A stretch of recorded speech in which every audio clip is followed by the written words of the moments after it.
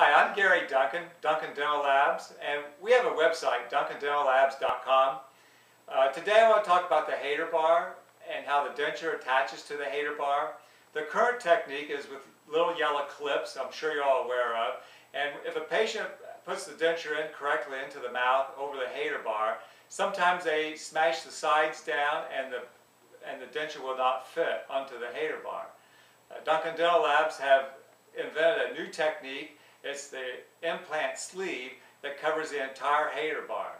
As you can see on the study model, which has been around for about 8 to 10 years, it has a nice look to it and it also snaps back onto the model very nicely. It's a very cost efficient way to have a secure denture.